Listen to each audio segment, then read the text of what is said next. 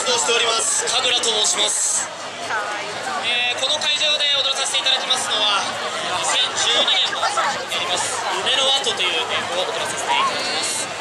えー先日のですね12月3日に文化祭というイベントがございまして、えーこちらの方でですねご披露させていただくということで、えー改めて2012年の作品ではあります。が構成を変えたりですとか振りを変えたりですとかしまして、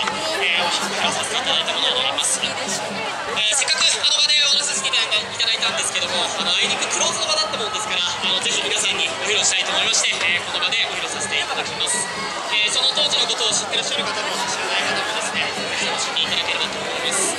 尾張藩第7代藩主徳川宗春が作り上げた芸どころ名古屋、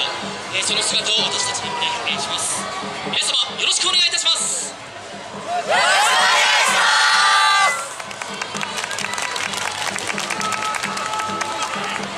神楽